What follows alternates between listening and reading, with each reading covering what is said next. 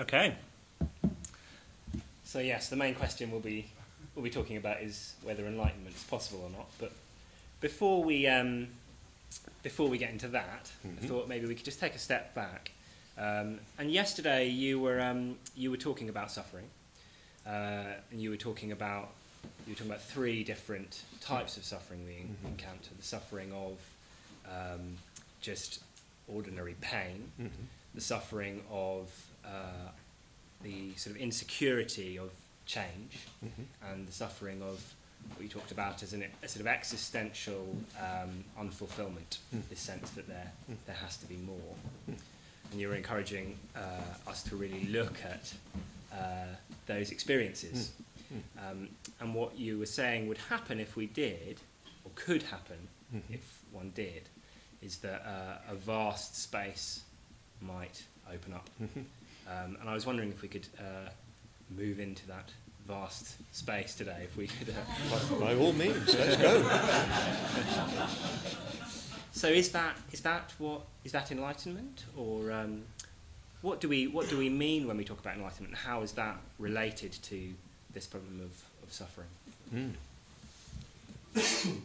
uh, what do you mean by enlightenment? My goodness.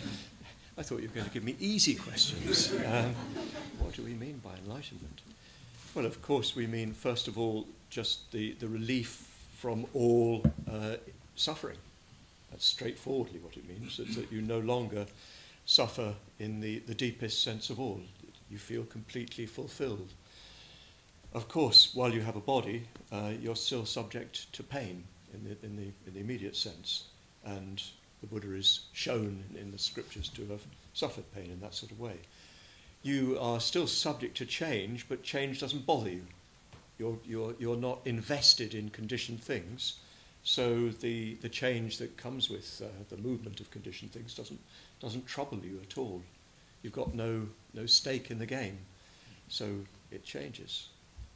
But at the deepest level, you feel completely at peace, completely at ease, no sense that there's more to be done. In fact, the Buddha says that, doesn't he? Again, done is what had to be done. So the, uh, the, this unfulfillment is, uh, is completed, is fulfilled. So that, that's, that's the basis of it, isn't it? That the experience of, uh, of enlightenment is one of complete uh, detachment from all conditioned things. Detachment in the sense that you do not any longer identify yourself with anything conditioned, which we do all the time. We identify with ourselves with the body, we identify ourselves with our, with our identity, uh, with being this, being that, being white, Englishman, and so forth. But you, you just stopped all that. Uh, you, your, your, your awareness, your consciousness is not bound up with conditioned things. The Buddha talks of unbinding the conscious, uh, unbinding vijnana consciousness from the other dhatus, that is, from earth, water, fire, air, and space. So they're there, they're taking place, but you don't think that's me, and uh, therefore you're not going to be affected by the, the changes that take place. That'll do for a start, won't it? uh, but uh, it, it's highly desirable, I th- hope you've also seen. It's uh, a state, therefore, because you are free from uh, suffering and because you feel a deep sense of satisfaction, it's a state of the, the, the highest possible enjoyment, bliss, fulfillment. Uh, nibbana paramang sukhang, the Buddha says in the, in the Dhammapada, the, the, the nibbana, nirvana, uh, that is the unbinding, the release, is uh, the, the highest happiness, the highest bliss. So, if you uh, you talk about sort of unbinding conscious, consciousness Mm. being sort of unbound from Mm, yeah. the other the other elements. Yeah. So it's hard to sort of it can be hard to imagine what one would be sort of left with in that in that sense. You talk about you talk about bliss, but Yeah. without any of the common framework. How might we sort of how might we connect with um, Well, we can't. because, because for us, the, the, the, the sources of, of uh, connection are completely different from, from what, uh, what enlightenment is. Do you see what I mean? So that we, we if we're going to think about enlightenment from our uh, own point of view, we're going to be projecting onto, onto what transcends our own point of view, what stands within our point of view, if you see what I mean. So uh, we, we, we, miss, we miss the point. So perhaps in a way, that's the first thing we need to realize that we, we, we don't understand and we can't understand from the point of view of our ordinary conceptual consciousness. So I had a very strong experience at Bodh Gaya a few years ago. Uh, I don't know whether anybody's been there, where the Buddha gained enlightenment. And uh, the Bodhi tree is there, the tree which is the great grandchild of the tree that the Buddha sat under. And uh, it's fe- fenced off. But I used to go and sit as close as I could to the Bodhi tree just behind the fence, and I could see through a tiny slit in the railing the, uh, the Vajrasana, the seat where the Buddha sat, or at least something that marks the seat where the Buddha sat. I remember sitting there one day, and suddenly it really dawned on me that it did happen there. And at the same time, that I had absolutely no idea what it was that had happened. So both the, the, the historical um, certainty from my point of view at that time contrasted with my complete failure to grasp what it was. And it's odd that in that moment of, of failing to grasp what it was, I got a little taste, taste of it, mm. if you see what I mean. So it's when, when the ordinary mind that we use to think about these things is confounded that you actually get a little taste of what it is. Mm. Because it's sort of from, it can easily seem, can't it, like um, like if we if it, if it goes beyond all of our possible frameworks of right. understanding, yeah. then from where we are now, we can only take that on take that um, on trust in a way that that that, that is a uh, hmm. that that is hmm. possible in a way. I suppose yeah. you, you you you talked about an experience that might point beyond that, right. but without without that. Um, yeah we sort of we can't know. So how could we, I guess, take steps towards right. that kind of experience? yeah. Well, I suppose so far we've been talking mainly conceptually mm. because of the framework of your question. Uh, but there are other ways of, of, uh, of being certain, if you like, um, which are much harder to, to speak about. And you know, we speak of those as faith, uh, which is a term in our own culture that has a rather specific meaning. In the Buddhist context, it means something rather, rather more than that. So it's a direct, intuitive uh, sense of, uh, of the Buddha and of his enlightenment, which may not be very conceptually uh, um, clear. You may not be able to quite say why. But I remember that very distinctly the, the first time I read about the Buddha. I was at, uh, at university, and uh, one evening after imbibing certain substances, I, um, I opened a book on mysticism. And that suddenly dawned on me that there was another mode of consciousness. I studied philosophy, but we're never told us that there were other modes of, of understanding, other modes of, uh, of uh, experiencing, other modes of certainty.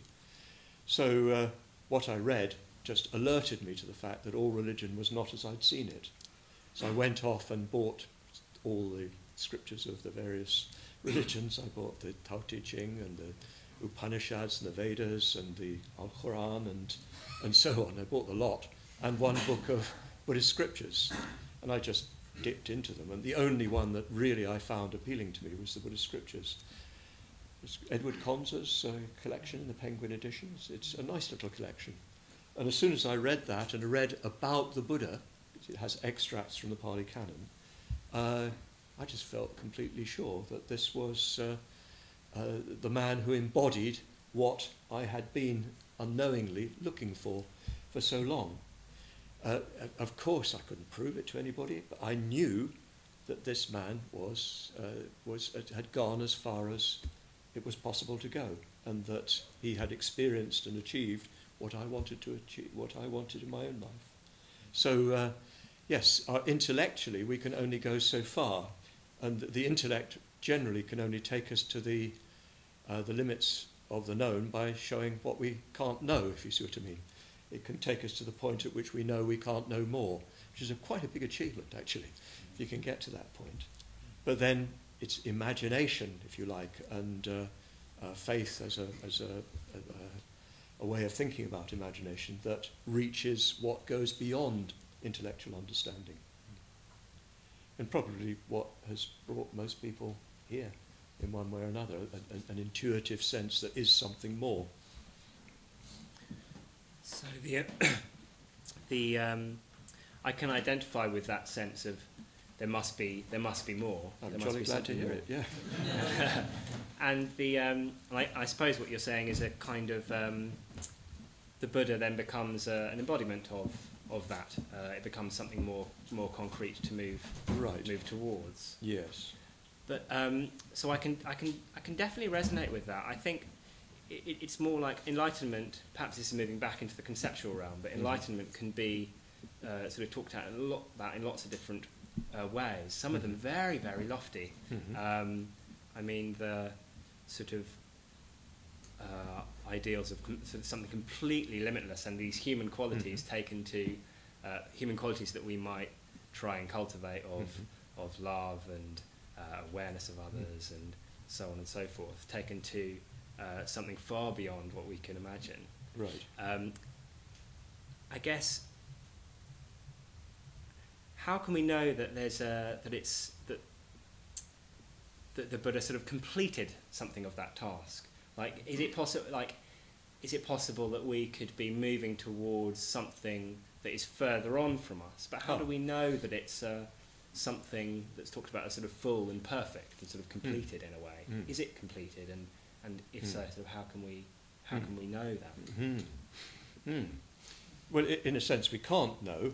Well, I remember Sangharakshita once said that in, in, enlightenment is the point on the horizon over which the Buddhas appear. Do you see what I mean? So that there's, a, there's, a, there's as far as we can imagine, far, far more than see, uh, which is it's over that horizon that Buddhahood lies. But what precisely it is, we, we, we cannot say. But what we can say is that it's, uh, it's not a linear thing. So it's not a point on a, on a line, uh, because that implies well, being here and moving to there. So it's the point at which all that sort of conceptual construction just, just fades, just disappears. You can't, you can't grasp it. And so, is there sort of, uh, I guess, is there sort of one enlightenment, or is there kind of, is it something more? Both. Uh, uh, uh, well, uh, uh, uh, it's something I've been reflecting on recently, a, poem, in a Buddhist poem, which says, of, of one and more, it's void.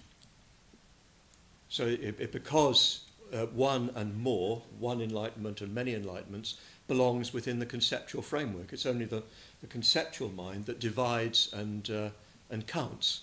Counting number belongs within the, the, the, the field of conceptual understanding. Do you see what I mean? So that when you've transcended that conceptual understanding, to speak of one or many doesn't really make sense. So, so sometimes the Buddhist tradition says uh, that, that uh, it's not two, implicitly saying it's not one either. um, but because our, uh, our, ability to, um, to count, if you like, is confounded. It's a, a dimension in which number does not operate. You encounter this, uh, and some people here will have done the six element practice, in which you look at, um, at consciousness and you look at the way in which your consciousness is not, does not contain I. If you look, if you examine the contents of consciousness, you cannot find a fixed, unchanging self. Um, and so some people then ask, well, um, is, is my consciousness different from his or her consciousness? But really, the, the question begins to dissolve when you get to that level of understanding of consciousness. It, uh, it trans- transcends the idea of one and many. Sorry to be so awkward, but um, you, you're asking questions which elicit these particular answers. There's, it's all his fault. So I think I'm dissolving slightly, so I might change tact. um, so maybe that's sort of bringing it, uh, bringing it back to you.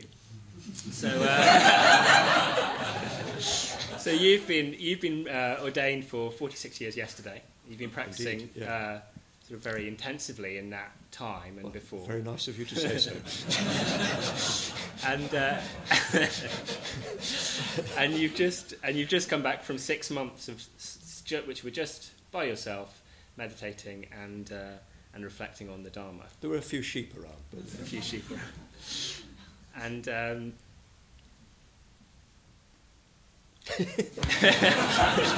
did, did you get enlightened? well, of course, it, it, it's uh, it's really rather indecent to ask that um, uh, what what uh, Sangharakshita said when somebody asked him that was, well, if I said uh, I was, how would you know that I was speaking the truth? If you see what I mean. If I said I wasn't, what difference would it make? But I'm going to be more modest than that and say that uh, I, I don't consider that I've gained enlightenment. I, I, I've experienced something and I certainly experienced a lot more of, uh, of uh, what is in the direction of enlightenment than I'd ever done before, as one would hope one does, day by day. But uh, in, in that retreat, I, I did get to a deeper level of, of uh, understanding, where I was able to just stay completely free from the, that uh, dukkha, that urge to, to be, to create oneself, and was able to just stay in the open blue sky for whole mini seconds at a time. uh, no, a little bit longer than that, but uh, just able to stay in that. And, uh, you know, I've been confident for many years through my own experience that enlightenment is a reality. Doesn't mean I'm claiming I've gained enlightenment, but uh, because of the, the, the small progress that I have made, I've got some uh, definite experience, which I cannot uh, sell to you, as it were. I've got some definite experience that uh, enlightenment is a reality, that it's attainable. In some ways, it's not that hard. I remember Bhante saying that, uh, that if people put half the energy uh, into enlightenment that they put into their sex lives, they would get there immediately.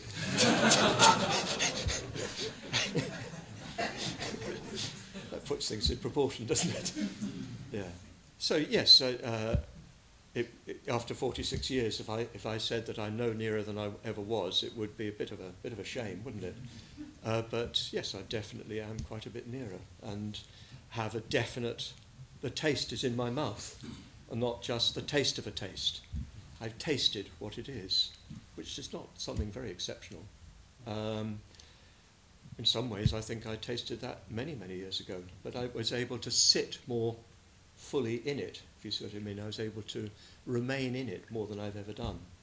Oddly, I think that my uh, grasp of enlightenment, since that's our topic, is no greater than it's ever been.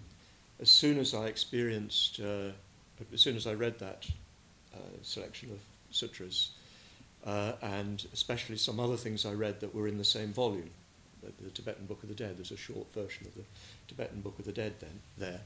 I, I knew of my own experience that enlightenment was a reality, uh, that it was completely attainable, and that I had a taste of it. But what I've done since then is sort out the bits that stop me from sitting in it. And, uh, you know, I definitely felt I made another step and was able to sort of luxuriate for a little while in complete peace and serenity and none of that inner pressure that's driving you to be this or that or the other, uh, which is a huge relief. Uh, because it's such a strain, isn't it? Just always trying to be something, trying to achieve something or uh, have a certain status or whatever. It's such a relief just to stop that. And for, for a while I was able to do that. And then you see the whole drive starting up again and see that it's not going anywhere and it dies away again. So uh, this is this is, you know, in telling you this, I'm not telling you that I'm particularly great. You, it's it's easily graspable, but not it's graspable. It's easily experienceable by anybody who seriously practices for any any length of time. Well, the Buddha said uh, uh, uh, it's attainable in seven days. No, not seven days, six days. No, not six days, etc. mm. What do you think are the main sort of blocks to actually to, to doing that? If you say if you say in a way, it's, mm. in a certain sense, it's easy. Mm. Why why aren't we sort of leaning into those kind of experiences more? Mm. What, what, what's stopping us? Mm. Well, uh, there's uh, um, we we come into this life with a pre-packaged structure to our experience, if you see what I mean, so that um, we come into this life with a predisposition to interpret the world as solid and fixed and real out there, and to interpret I as somehow in here, independent of the experience. So it's part of the, the given. Uh, it's, it's, in Buddhist terms, it's sahaja, born with us, or sahati, connate. It exists with us. So from the very first moment that a, that a baby opens its eyes, it's beginning to face the problem of what the hell's going on. And uh, in order to, uh, to grasp what's going on, it is um, it's, it's going to use this pre-packaged uh, interpretive framework of I and world, which are independent of each other and which are, in some sense, independent of experience. So there's a, a moment of experience which seems to be an experience of something the other side of the experience, and that seems to be experienced by something, someone, who's the other side of the experiencing. Is that sufficiently complicated to lose you? Um, so that, that that's the framework we use. Otherwise, it's very, very difficult to, to know what's going on, just in an ordinary, everyday sense. So this, uh, this survival mechanism, because from an evolutionary point of view, it's, it's what enables the organism to survive more effectively and to thrive.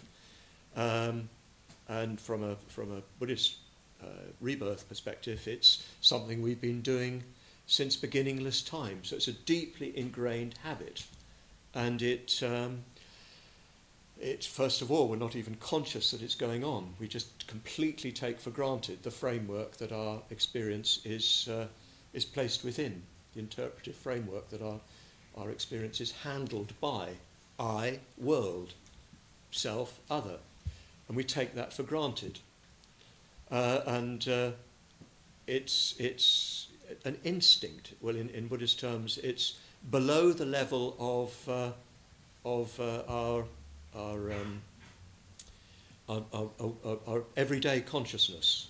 You see what I mean? So consciousness comes with a, uh, with a pre, pre-packaged framework, and then on top of that, we add all our daily experiences, which are then fitted into that framework but we can't see that framework. It's like the basement of a house. You don't see the basement because the, they're under the ground and the walls are built on top of them.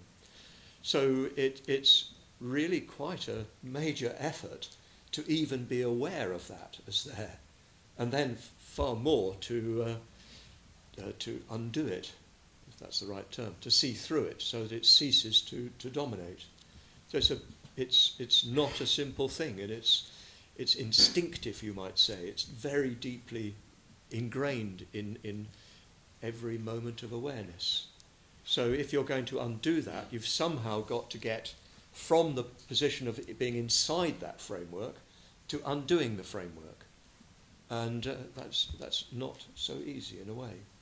Again, on this solitary retreat, I had a, a, a vivid and, um, a, in, to begin with, rather terrifying experience of the, uh, the extraordinary tidal power of, um, of this habit of, of, of forming things into I, of identifying I and identifying other. And it's, it's, it's a, an extraordinary force which is outside your control. And so I'd have a little bit of an experience of an open space, um, which was wonderful, delightful, and I just think, I'm just going to stay here. And then, bang, in it comes.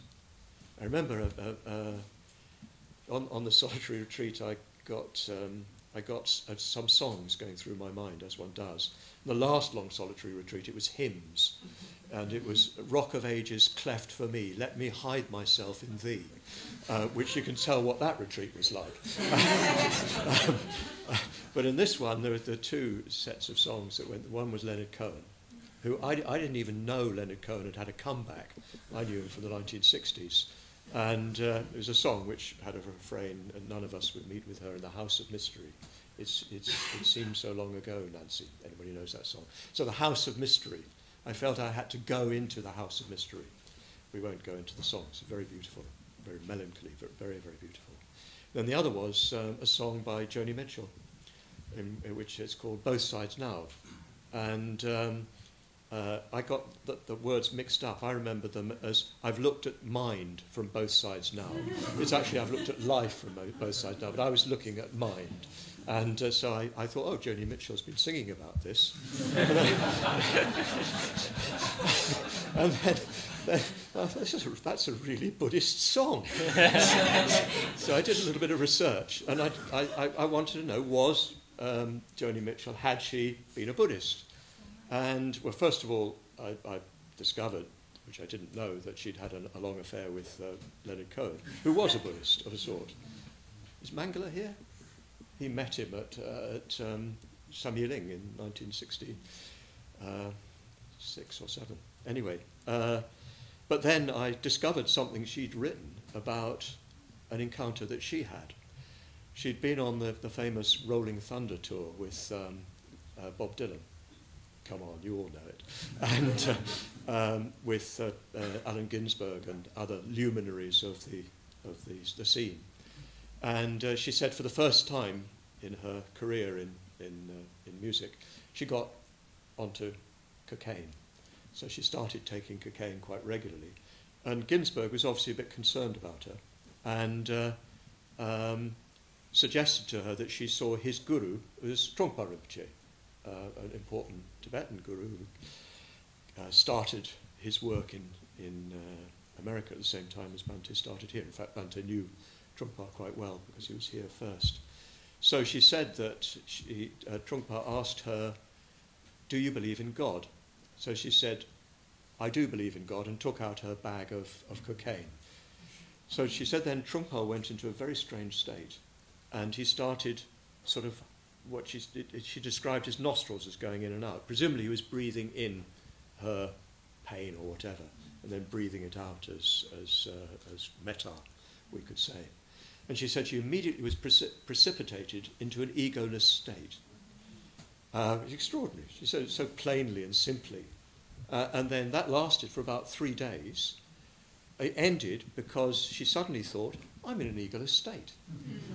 So I'm telling this long story partly because it's a jolly good yarn, but partly because it illustrates the way in which the habit just kicks back in, even if you do, uh, you know, under the influence of a, a really rather extraordinary man, get sort of taken out of yourself, as we say, taken out of yourself.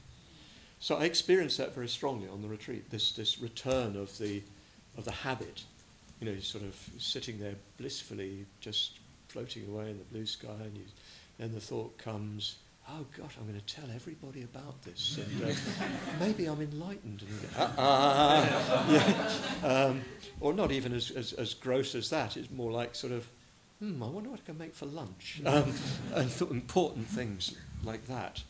After a while, it just became laughable. I found it really amusing. This uh, horrible little fellow who just keeps on popping up and uh, reconstructing himself. And um, uh, uh, it, after a while, I was just able to sort of laugh, laugh at myself, as it were, and that would kind of dissolve it. But what I was able to see in that situation where I'd been on my own for, for five months, not completely on my own, but more or less on my own for five months, and in my six month on retreat, you know, I'd reached a fairly still state, and I'd done a lot of work dealing with, um, with karma, you could say. Uh, and uh, so I felt pretty clean and uh, then was able to get into that sort of state. But the habit, this, it's not karmic habit, it's uh, what they call a dvayagraha um, vasana, the, uh, the effect of the twofold grasping. It just kicks back in. and uh, you have to keep on keeping free of it. So this is a long way of saying it's difficult because there's a deeply ingrained habit, which I think in some, in some ways you can also associate with, um, uh, with the animal dimension of us, if you see what I mean. It's, it's an instinct which then gets mixed up with the, the ability to, to, to self-identify. And it's, uh, it's, as it's as deep as that instinctive habit of uh, reforming the world. Fortunately, I've got to the stage where I'm not, not so afraid of being without it, uh, because that's the first thing, that it's frightening to be without it, because it's, you know, who wants to be without I? Actually, it's a great relief. But um, to be free from that, uh, it, it seems to one that the, the uh, transcending of the, of the I is sort of death. It's, it's it, the, the big black hole seems like that to begin with. You, you feel really quite terrified, maybe, and uh, you could scramble onto the safe shore of, uh, of uh, habitual patterns and so on. But um, I, I managed to, to calm that a bit. Uh, but still, the habit is there. Still, the, the, uh, the grasping for identity, the grasping for an interpretive framework is so habitual. Is there a, um,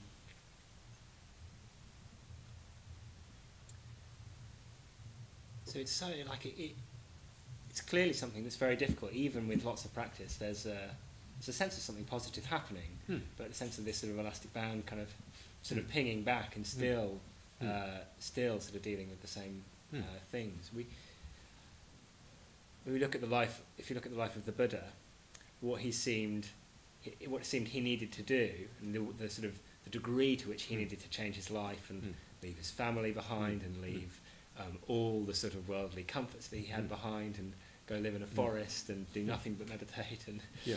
uh, is that is that necessary to Hmm. um, for enlightenment? Think, or, or, or ca- Well, I, I think you'd have to say that it, w- it, it, it, you couldn't say that it was absolutely necessary. But I think that in practical terms it is. If you see what I mean, it, it, uh, presumably uh, it, it's possible within the midst of life to undo all that. But I think it, really when it comes down to it, the problem is that the world is reinforcing this habitual tendency. It constantly is calling for you to, to be something. It's a a very strong experience of that coming out of this retreat. I'd, um, as I began to engage with other people, really good people who are, you know, pretty mature, even spiritually mature, I'd, I'd got rather too sharp a perception of them. Don't worry, it's, it's dimmed a bit now, so I'm not looking at you like this, but uh, I'd notice um, this sort of, th- this slightly constructed identity that people carry around with them. And I'd notice myself falling into that. I'd, I'd sort of say something over the dinner table. I think, why do you say that? You don't really want to be like that. You don't have to be like that.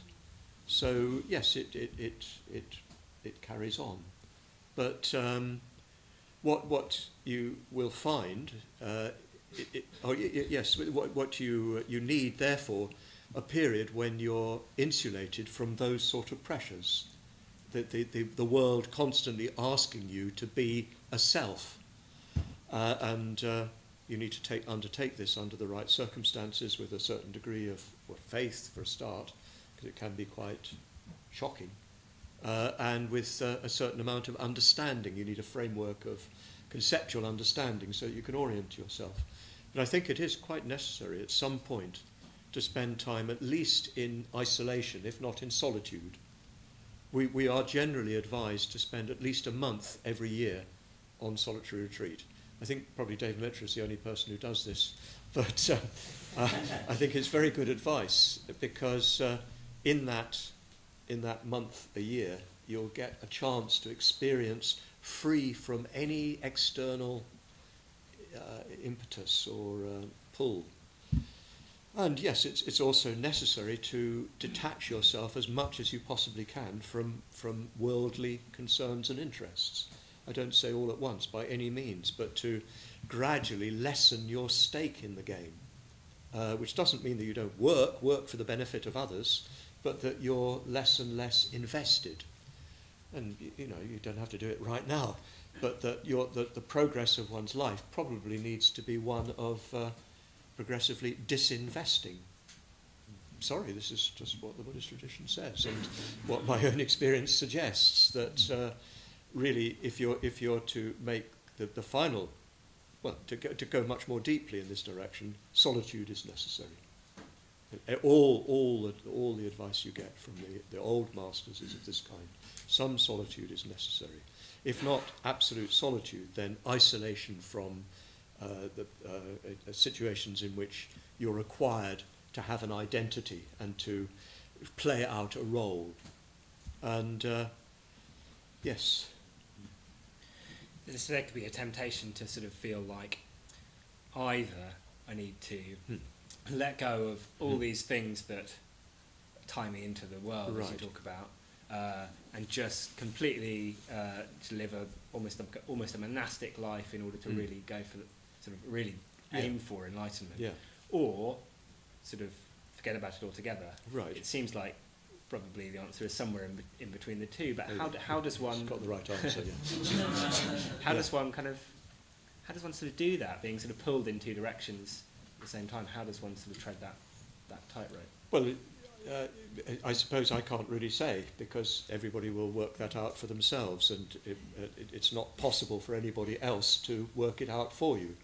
Uh, um, so you have to feel your way, your way forward, and you'll find that you're pulled in two different directions.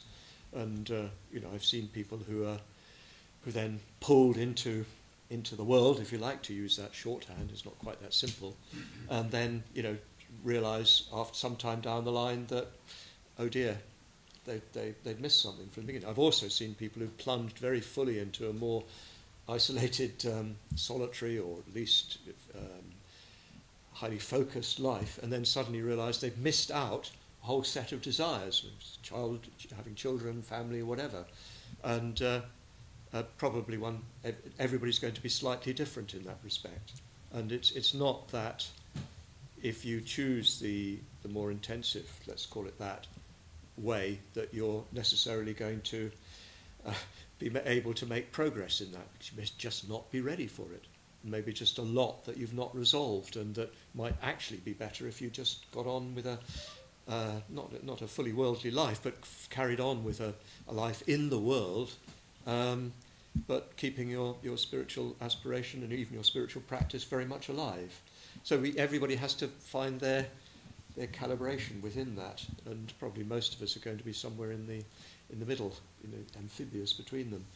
I, I always thought I'd just have to be a, a, a monk because I, I, I, saw so clearly what it really involved, uh, and uh, I knew that I couldn't. I knew that there was too much unresolved, and uh, I was fortunately able to, um, you know, I managed to stay clear of, of, of a career and, and a family and so forth. Uh, not that I'm trying to suggest those are bad, but for me they, they were not what I wanted. But I wasn't able to just fully immerse myself in that sort of way. So I think it's something that everybody has to work out for themselves. We have to try to create a, a Buddhist movement. We have created a Buddhist movement that has the full breadth. And if you live the, the full monastic life, doesn't really mean that you're doing it more than somebody who doesn't. Uh, and if you're uh, not living that sort of life, it doesn't mean that you're, you're, you're not doing it. So uh, we have to work that out for ourselves. But at some point, I think everybody is going to have to spend some time in a high degree of, a, relative degree of, uh, of solitude and uh, uh, isolation, even if it's only for a month or whatever. I think for, for really getting much more deeply into the stuff of things you need that sort of solitude. I, I, I found I'm, I'm an extrovert, so I'm compulsively driven towards the world, and to be sort of shut off from that was extremely important for me. Uh, and it, you know, the, the, the, tendency to look for engagement is, is, is, um, is so powerful that the more isolated you can be, the better. Do you? Uh, so I was, um, I sort of experienced that being on being on solitary retreat, mm. and then coming back and feeling mm. like there it all there it all is again. There um, it all is again. And yeah. um, do you think do you think it's sort of do you think it's harder to practice sort of in the world now than it used to be? So, like, I guess from when you started practicing, or even further back to the time of the Buddha, is it just getting progressively more difficult mm. outside of the conditions, say, of a solitary retreat mm. to practice mm. the Dharma? Yeah, it's always very difficult to make these sort of speculations, uh, but uh, I suspect on the whole it is. And uh, I think that uh, the circumstances of, of, a modern Londoner's life are e- extremely busy and with multiple opportunities for distraction. Uh, you notice uh, the, the, the, speed with which people fill the silence on, the, on the tube train with a mobile phone. Uh, it's instant. It's just definition of a split second. Uh, so we, we have at our disposal in the modern world multiple means of distraction.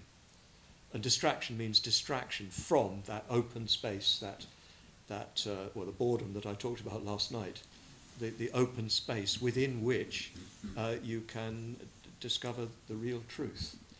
Uh, so I think that there's a huge amount of, uh, of um, temptation to just pull away from experiencing ourselves in this raw, deeper way, experiencing, uh, well, the way I've been thinking of it more re- recently is experiencing mind itself, what mind is, what awareness is, what consciousness is.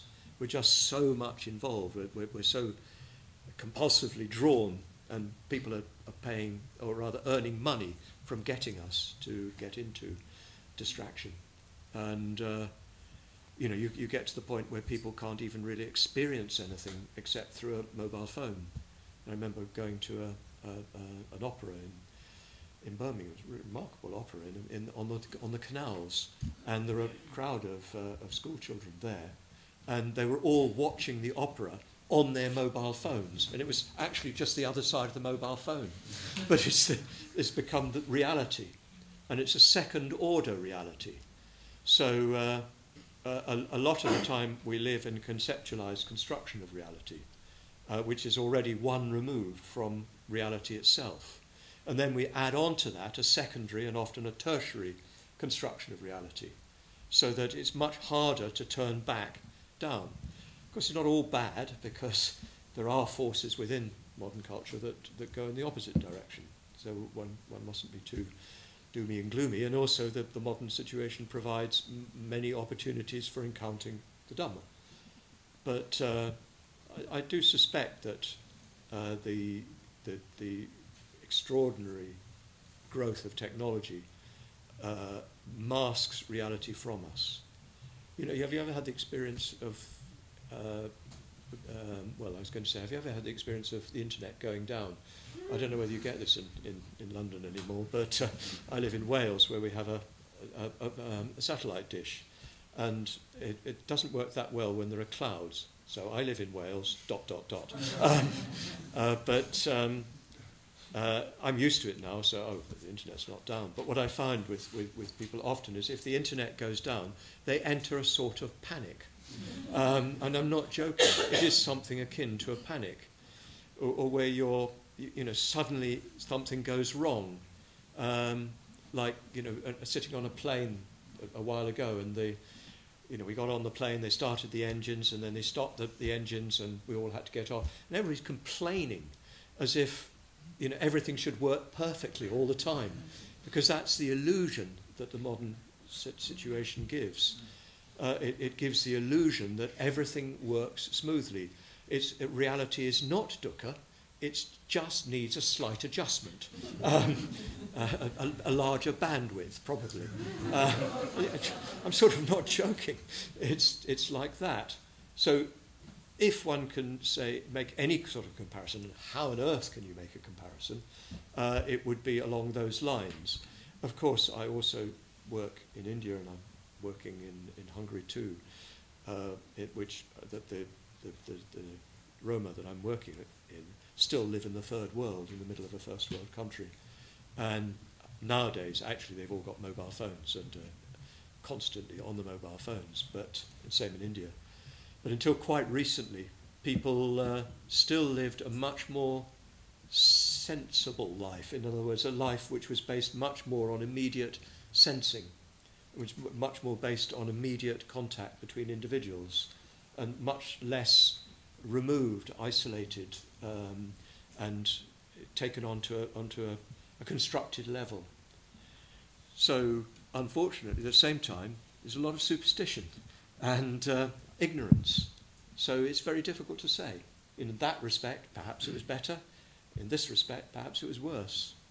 But those are the particular issues I think that we very much face right now is the deluge of information, absolute deluge of information, and uh, the uh, extraordinarily uh, available opportunity for distraction, something that will occupy your mind and keep you from experiencing that underlying dukkha and therefore allowing for that space to open up in which you can uh, relax, finally, ultimately relax.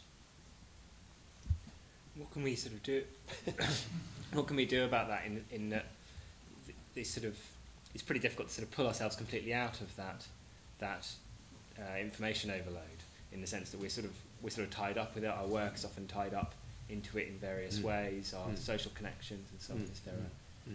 do you do you think there's a way to extricate oneself, or should or should one? Well, I think the first thing is one needs to create boundaries where technology are concerned. I've taken a, a vow of, uh, of uh, technology uh, brahmacharya, um, chastity, uh, in the sense that uh, um, I, I do not buy a new phone just because there's a bigger and better one, while my present one actually does the job perfectly well. Do you see what I mean? So that, that I think it's important for one to, to make, make decisions not to buy into what is, after all, an artificially driven, uh, um, market driven uh, process, uh, which is, is done to take your money out of your pocket, not to make you happier and better. Honestly, it really is like that. Um, so I think it's important to, to make sure you use technology and that it doesn't use you. Uh, which takes quite a bit of, of, of self-restraint, uh, quite a bit of discipline. You know, how many times do you need to listen, to, to, uh, to look at your email? Uh, you know, I remember the days when uh, you waited for the post. I, do, do, know what I mean by post. It's, um, um, you know, where, where a letter from India would take 10 days to get, get there. Um, of course, once it would take three months, but um, you, you need to actually place boundaries on, on, your, on your involvement. If your work requires it, make, that a bound, make a boundary around that. You'll do this, but you're not going to do that. And if you can do the thing perfectly adequately with what you've got right now, don't go questing something better. I, I sometimes think we should have classes at the LBC on uh, computer brahmacharya, um, technology brahmacharya. You know, we really need the latest. And, and we are buying into a, uh, a, a, a, conscious uh, manipulation of our desires. It, they study it. Why does a new uh, mobile phone come out at the interval it comes out at? I, I don't know this for certain, but I've read studies in this sort of area. It seems to me what they've worked out is that when you get the new one, you get a hit, don't you? You're just so happy. You've got this wonderful thing which can do, you know, th- you, you only use about 0.5% of its capacity. It could probably take you to the moon. But um, uh, you are so pleased and proud and you want to show everybody and, and so on and you get a real feeling of happiness and delight. You, your ego expands a bit because it's achieved an apple something or other. You can see how out of date I am.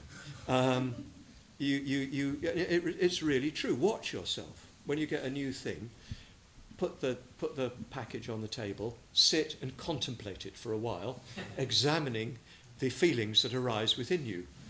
And uh, open it up and, and, and, and, and sit doing uh, the, the, the Apple Bhavana, the contempl- contemplation of, of, of, of, of your mobile phone. And look at the, the feelings of joy and delight that arise within you. I'm, you they will. They will.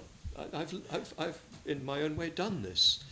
And then after a little while, you know, it goes on. The next day, you, you wake up, oh, my new phone, and where is it? And it goes on like that for a few days. But after a few months, the, the satisfaction that you get from the newness of it begins to fade. Uh, this is, this is uh, you know, this is all uh, um, empirically studied. Um, and after a certain time, that it fades to the degree that you're no longer that turned on by your phone. Um, uh, and uh, at that point, they bring out a new one. They know what they're doing then. Uh, uh, that they know that your, your, your delight in the old phone is, is worn out because if they produce it too early, you think, ah, no, I don't need no one, I've got this one. Um, they also make sure that your, your sense of, um, of, uh, of envy is stimulated by showing beautiful people showing the, holding the phone, and then you feel envy. So, yes, we need to check out of the, of the, of the uh, technology rat race by yeah, using it insofar as you need to use it. And, um, and I know quite a lot of people have jobs connected to IT or in IT, fair enough, but don't let it dominate you. And make sure that at the end of the day you switch off. And I know many firms now give you a mobile phone and expect you to be at the end of the phone any time. Refuse, get another job.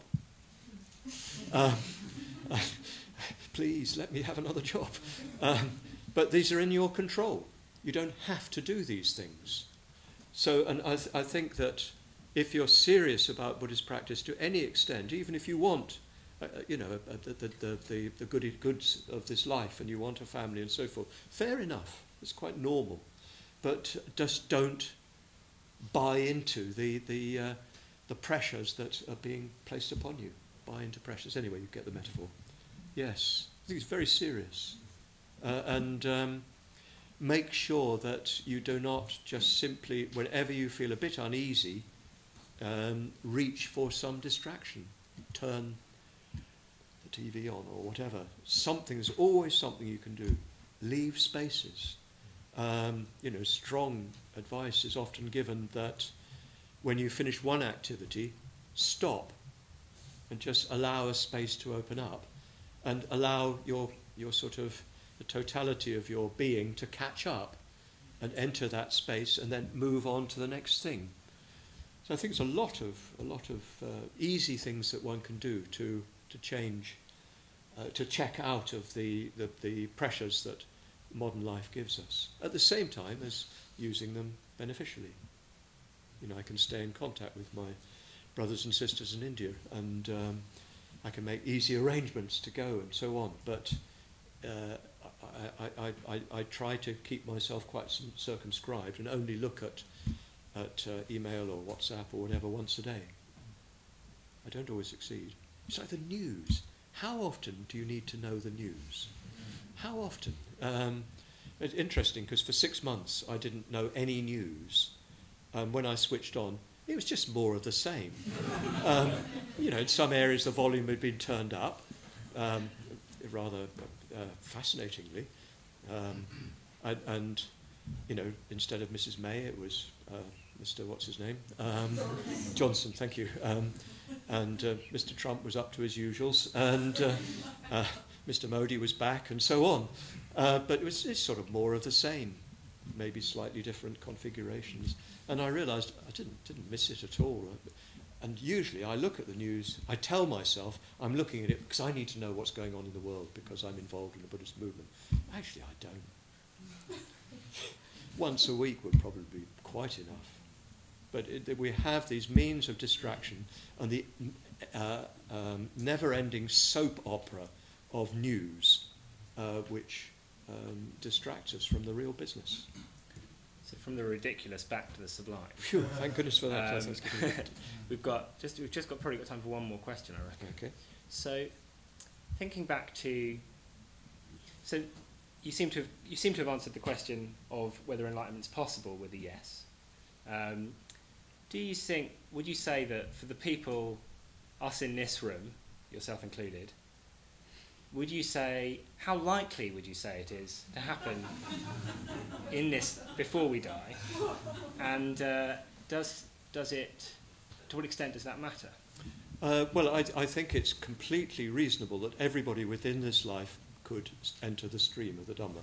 That means that you have uh, a, a sufficiently deep taste of the Dhamma, a taste of that experience of, uh, of being completely at ease in, in emptiness, if you like, put it that way, and to feel uh, you know, joyous forces arising within you, it's perfectly possible for everybody here to have got to the point where that is irreversible. In other words, that you will not lose it. It will be there, uh, available to you relatively uh, readily. I, I think that's perfectly possible. But if you're talking about enlightenment, we need to be clearer what, what you mean. Uh, for instance, is it possible for you in this lifetime to become a Buddha? Well, the broad Buddhist tradition would say no, because you have to be reborn and then uh, you have to die rather and then re- reborn in a place where there's no Dhamma. That's what a Buddha is. But for you to waken, wake up to a decisive degree is completely possible. Uh, you simply have to be single minded enough about it. And uh, probably for most people, that means, to begin with, building the foundation, creating a foundation of ethics, uh, building a, a, a, a, happy, healthy mind, uh, creating good relations with others, just creating the circumstances. And then on that basis, deepening your meditation so that you're got at least temporarily a little bit of freedom in, in the meditative state. And then on that basis, uh, uh, uh, uh, reflecting on the real nature of things and getting some definite taste of that. I, I think this is completely possible. Uh, I'd almost say inevitable if you just apply yourself to it. And it doesn't mean giving up everything immediately. It just means getting yourself in a bit more deeply, a bit more deeply, a bit more deeply. And uh, as you get more deeply into it, you'll get more and more reward from it. It your, your life will be just satisfying and wholesome from an ordinary point of view, and that will lead you a bit further. So, uh, yes, I think to think in terms of Buddhahood is you know many lifetimes' work because you've got to build up all the qualities that enable you to be a Buddha. That is to be born at a time when there's no Dhamma and be able to communicate it afresh from a sort of perfect uh, being. That's a big thing to do, and you should take steps in that direction because, my goodness, the universe needs Buddhas. Uh, but within this lifetime, it's completely possible for you to get to the point where you, you uh, can rest in the Dhamma. And, uh, you know, it, it's, we, it, it's not a good thing, I think, to say this person has done it and that person hasn't, because then you get grabby. You start thinking it as something you have.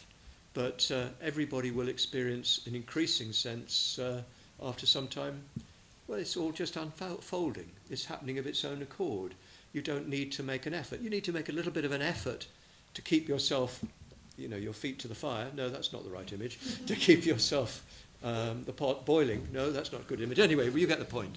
To keep yourself at it. But uh, the, the sense one will increasingly get is that something is flowing a little bit independently of one's will, of one's identity, and that you can rest in and you can, uh, you can rely on. Maybe it's going to take a long time for you to completely soak yourself in that, but you can be sure that that will happen. And I, I would expect, I hereby predict everybody to achieve that point in this lifetime if, if you just keep at it. Uh, really, just keep at it. And, you know, sometimes people say, oh, there's a, the technique that you're missing. Rubbish. Um, it's, it's not a matter of techniques. It, it, it, pretty much any meditation technique will do. The main thing is keeping at it and uh, keeping it up at it with a, a sufficiently honest and um, sincere mind, and, and you will get there. I'm quite sure of that. I could say I know that from my own experience without making any claims about my experience, and in the sense that I know in what I've seen that it's, it is perfectly possible. I don't think I'm particularly exceptional insofar as I've got somewhere along that line, I, I think anybody can do it.